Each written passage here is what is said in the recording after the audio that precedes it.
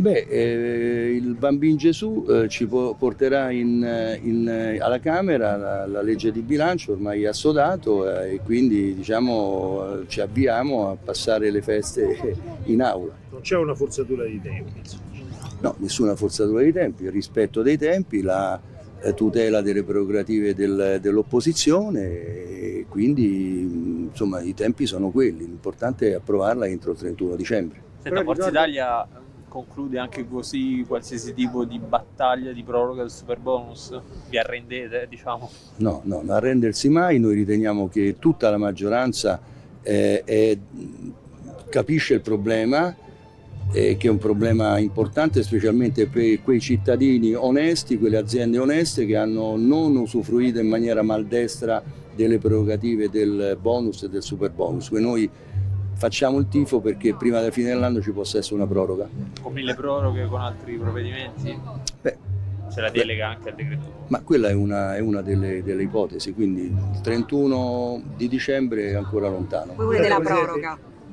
Beh, certamente, cioè, noi riteniamo che nel rispetto dei vincoli di bilancio debba, possa essere trovata eh, possano essere le economie per poter far sì che eh, coloro i cittadini che eh, hanno usufruito, ho detto in maniera corretta, eh, la, la, le prerogative del super bonus e del bonus possano proseguire i lavori se li hanno completati almeno a una percentuale molto importante e una proroga di qualche mese.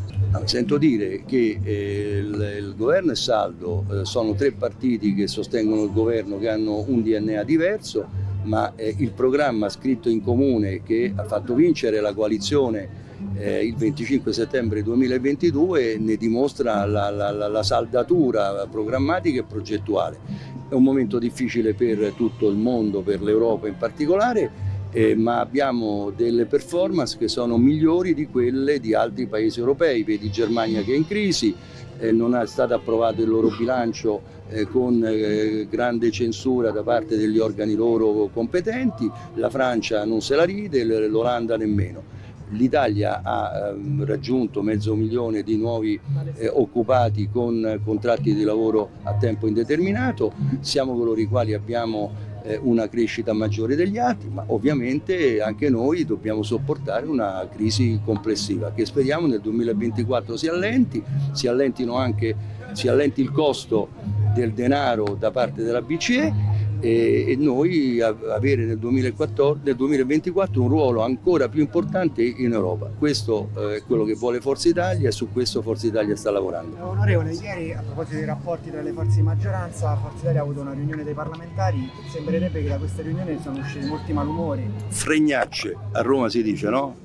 Non è assolutamente vero, quindi non so chi è sta gola sprofondata che ha tirato fuori questi argomenti, nessuna nessuna, nessun mal di pancia e quindi non so cosa dirle. Non si sentono quindi i suoi parlamentari appiattiti rispetto alla posizione di Fratelli d'Italia, rispetto ai lavori parlamentari che vengono meno? Ma guardi, ho letto anch'io sto titolo, ma non so da dove è uscito. Noi abbiamo i nostri spazi, abbiamo i nostri ministri, abbiamo un vice premier eh, che sa il fatto suo e un rapporto ottimo fra i capigruppo, quindi non, francamente non c'è nulla da dire su questo. Guarda, devo dire che già una notizia che lei ha letto l'articolo, perché da Fratelli d'Italia sembra che nessuno l'ha nessuno l'avesse letto, Beh, no, io, non ho fatto io, rassegna no, stampa. No, però me l'hanno mandato loro, quindi... Ah, infatti.